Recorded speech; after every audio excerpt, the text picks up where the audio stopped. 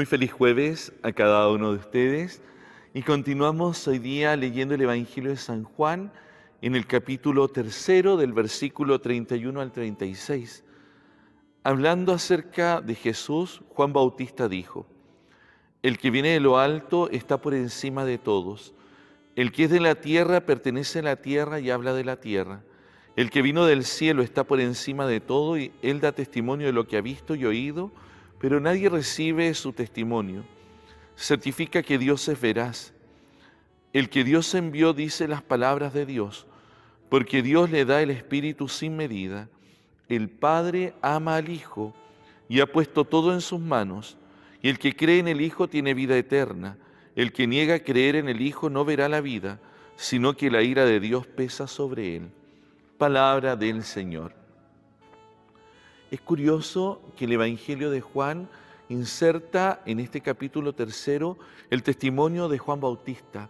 Si hemos estado hablando del bautismo, de este don que viene de lo alto, de nacer a la vida nueva, del Espíritu que conduce y que el Padre nos ama y por eso nos ha hecho hijos en Él, es Juan Bautista que hoy día aparece recordando esto, que el Padre ha enviado a su Hijo para nuestra salvación. El envío de Jesucristo al mundo, el misterio de la encarnación, es el misterio del amor desbordado de Dios y que al mismo tiempo Juan Bautista da testimonio de esto. El testimonio significa que yo me he hecho alguien que puede dar fe de esta realidad. Ser testigo, la palabra testigo en griego es mártir, es, es aquel que con su vida, con su vida expresa lo que cree, lo que ha visto, lo que ha oído. De hecho, en la primera carta de San Juan, el mismo evangelista dirá, lo que hemos visto, lo que hemos oído es lo que les damos a conocer. Y en ese sentido el testimonio significa poder transmitirle a otros esta experiencia, esta experiencia de la vida nueva que Dios nos da.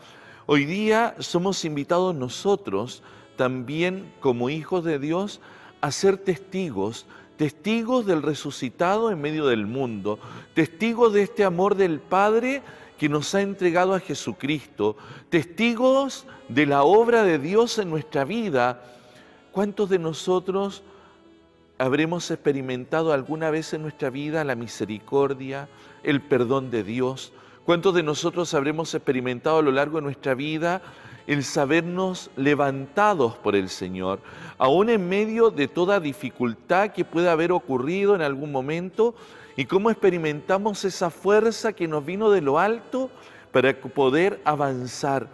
Bueno, ser testigos significa que yo en mi vida, con mis palabras, con mis gestos, con todo lo que hago, voy diciendo, es verdad, el Señor es el que da vida, es el Señor el que nos ama, es Jesucristo que murió y se entregó por mí y hoy día yo valientemente sigo proclamando en el mundo esta realidad. Lo que Juan Bautista hoy día nos invita porque él mismo dice, yo doy testimonio.